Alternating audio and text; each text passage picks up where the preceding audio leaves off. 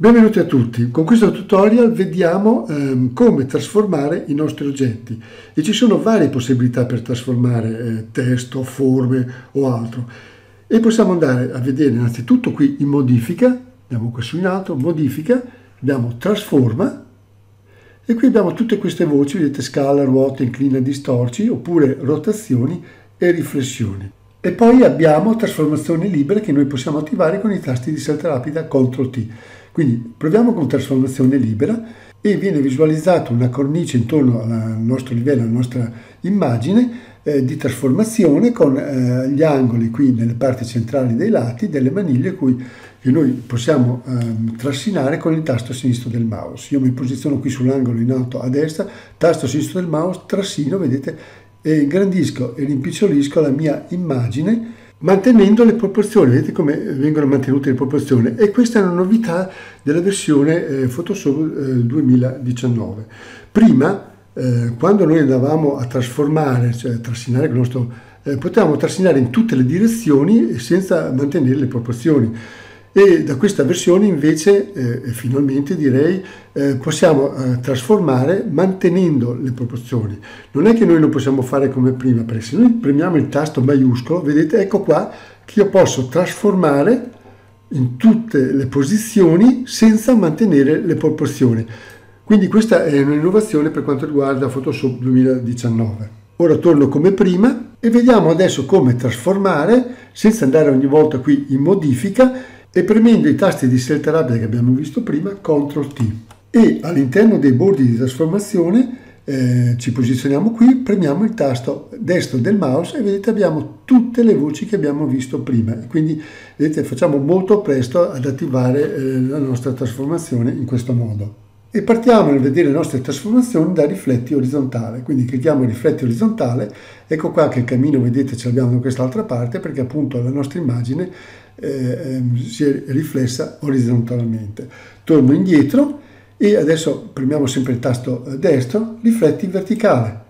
E guardate, adesso la nostra casetta praticamente si è riflessa verticalmente, quindi abbiamo il tetto dalla parte bassa. Questa riflessione, come l'abbiamo vista, avviene perché parte da un punto, eh, da un perno centrale che in questo momento non è visibile, in quanto nelle ultime versioni bisogna attivare la visualizzazione e questa è un'altra novità di Photoshop 2019.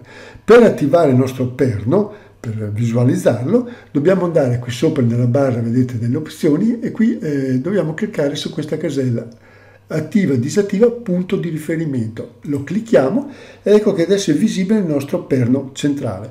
Quindi come ho detto prima, la, la riflessione in questo momento avviene da questo punto, cioè dal punto centrale. Ma vediamo cosa succede se andiamo a spostare questo punto centrale.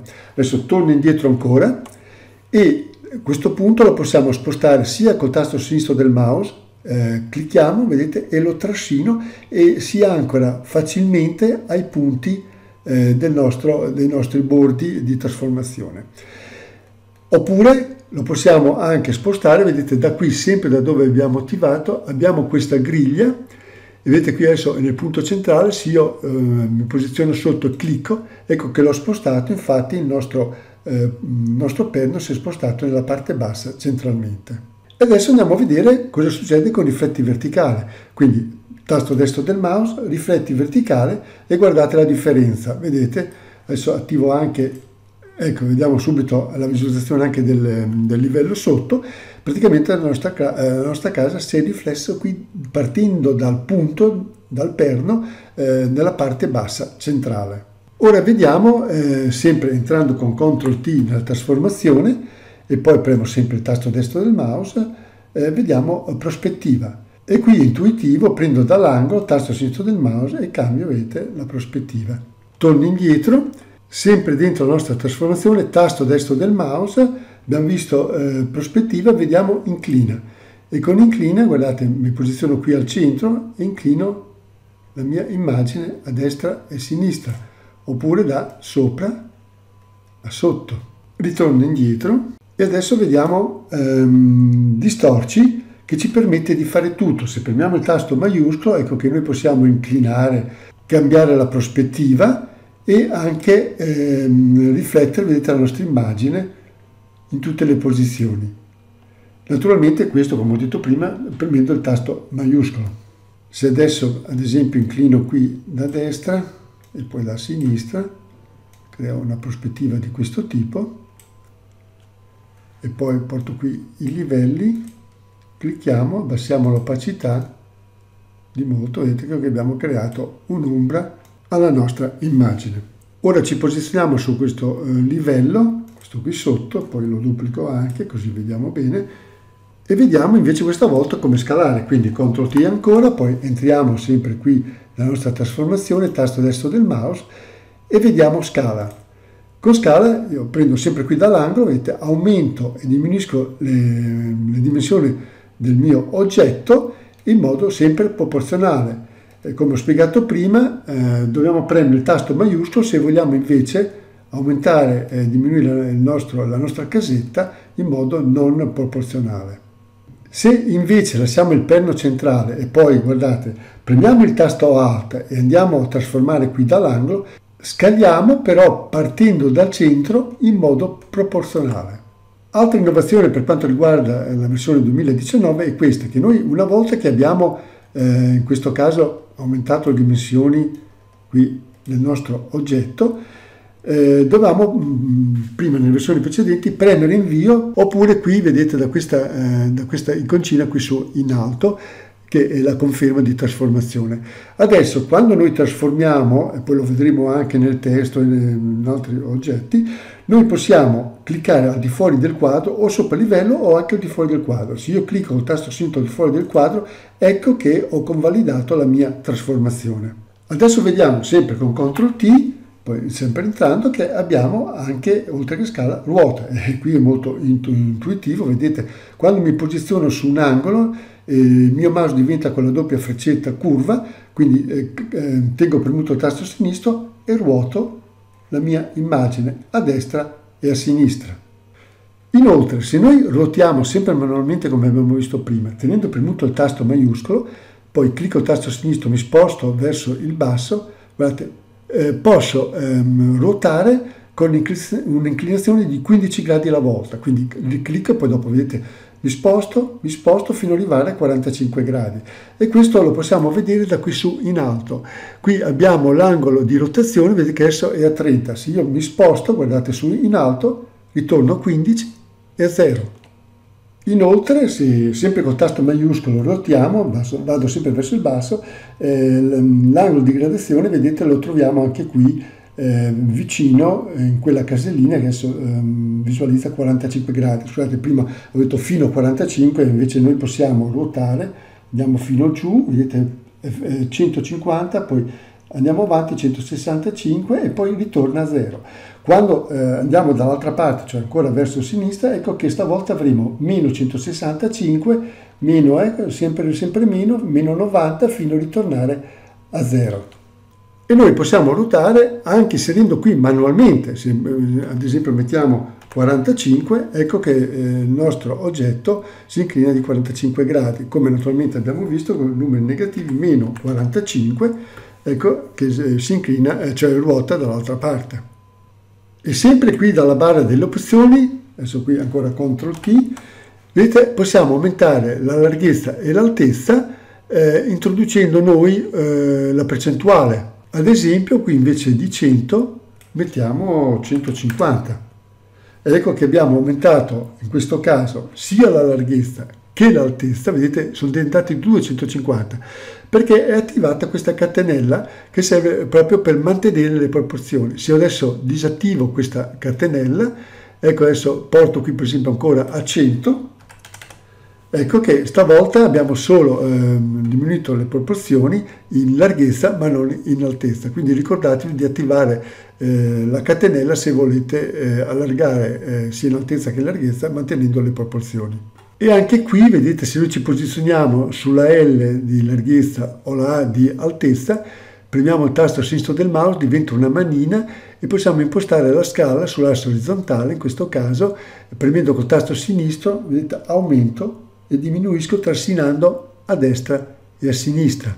E guardate che naturalmente avendo attivato la catenella aumenta anche in, in, in altezza. La stessa cosa lo otteniamo anche qui con ruota, eh, tasto sinistro del mouse, eh, possiamo andare a destra e a sinistra, ma vedete qui avendo una gradazione che va avanti di un po' alla volta diventa molto difficoltoso, quindi è sempre preferibile mettere dentro manualmente e infatti rimetto a zero. Inoltre possiamo anche inclinare, abbiamo qui l'inclinazione orizzontale e verticale, proviamo, ma anche qui inseriamo eh, manualmente, facciamo di 45, ecco che abbiamo inclinato il nostro oggetto di 45 gradi orizzontale. La stessa cosa la possiamo ottenere anche qui in verticale. Ora ci è rimasto di vedere come trasformazione altera, ma lo vediamo eh, con un testo. Ho inserito un livello testo senza rasterizzarlo e anche qui andiamo a premere CTRL T. Entriamo dentro per visualizzare tutte le voci di trasformazione. Guardate, non abbiamo tutte le voci che avevamo prima, abbiamo solo scala, ruota, inclina, altera e anche queste, mm, queste rotazioni e le riflessioni. E scegliamo altera e per alterare il testo qui in alto, vedete nella barra delle opzioni, abbiamo varie opzioni predefinite. Abbiamo arco, adesso clicco, ecco qua vedete, tutte, tutti gli archi, e poi abbiamo ehm, rigonfiamenti, e poi bandiera, pese, e poi abbiamo pendio, grandangolo, gonfio e compresso e poi abbiamo anche torsione. Quindi abbiamo già qui, eh, da, qui sopra dei predefiniti eh, che noi possiamo applicare eh, come l'arco, vedete in questo caso qua. E eh, noi abbiamo la possibilità anche di intervenire su questi predefiniti, perché se io, vedete qui abbiamo un punto, clicco e posso spostare ehm, questa deformazione al mio testo. Inoltre possiamo sempre intervenire, qui vedete abbiamo la piega, orizzontale e verticale e anche da qui sempre col solito sistema, tasto sinistro del mouse, vedete vado avanti e indietro, muovo la piega del mio testo e anche per quanto riguarda orizzontale e verticale. Vedete? Ma questi sono dei predefiniti, vanno bene per i nostri progetti, ma più di tanto non riusciamo a modificare. Adesso invece vediamo un testo eh, rasterizzato, cioè come livello. Quindi nascondo questo livello, poi mi posiziono su questo, lo sposto, così vediamo bene, e qui possiamo entrare CTRL T ancora, e poi altera.